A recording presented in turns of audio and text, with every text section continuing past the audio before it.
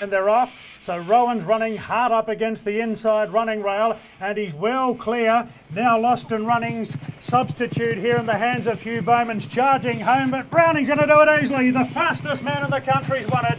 11.46 they've run there. They've officially clocked this, 11.46.